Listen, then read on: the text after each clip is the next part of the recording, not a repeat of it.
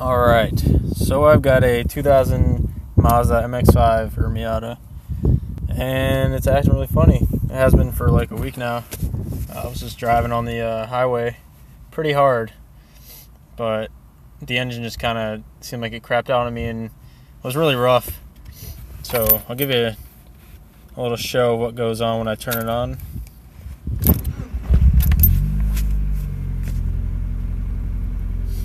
Turns on just fine.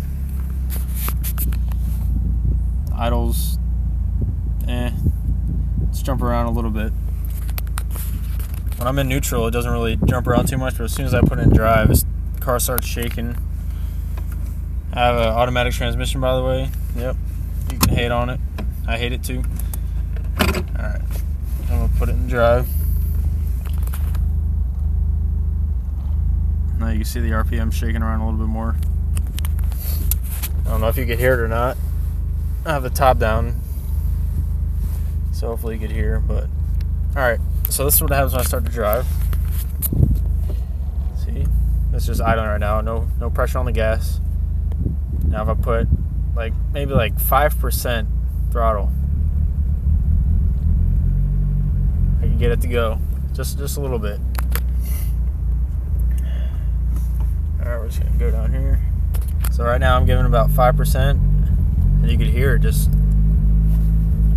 going away over there.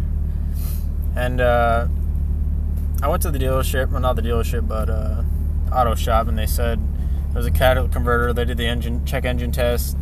They evaluated it. And they're like, "Yep, it's your catalytic converter." So I went and bought a new catalytic converter, got it put in. Same with the O2 sensors, and nothing, no changes.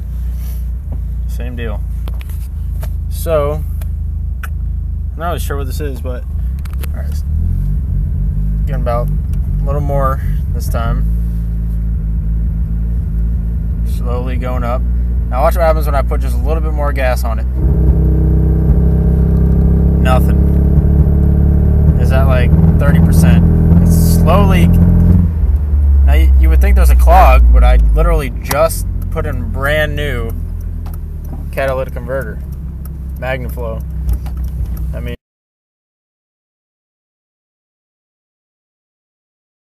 I'm stumped. I don't know what this could be. That's why I'm coming to you guys, because Pep Boys doesn't know either. New, new O2 sensors, new converter. What could it be, guys? What could it be?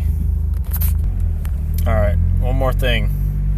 Also, what I noticed is if I just, what was that? If I just slowly, slowly put my foot down a little bit more instead of just jam it, I can get a little speed without it just fluttering. But as soon as I go too fast, it'll just start sputting on me.